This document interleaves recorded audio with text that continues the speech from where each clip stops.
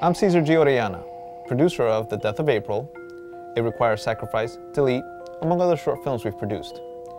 I'm here to talk to you about our next project, Death Like Me.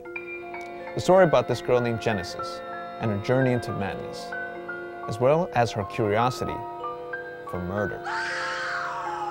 It's actually inspired by uh, one of Edgar Allan Poe's uh, short stories called The Black Cat. And I'm here because we want you to help us make our film possible. This film will have everything that you want, or everything that every horror fan wants blood, gore, guts, screams, and special effects, which is actually led by Stephanie L. Barrison, who is our professional special effects makeup artist. Any contribution would help. I'm, I'm talking about anything, anything. We, we really want to make this film for you guys, for all the horror fans. So any donation would help.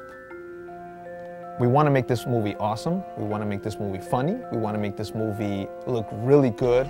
I'm telling you, the special effects makeup, that's what we really, really want to like enhance. And we want to put blood in this. We want to put gore in this. We want to make this look good just for you guys. So please, help us make this film possible.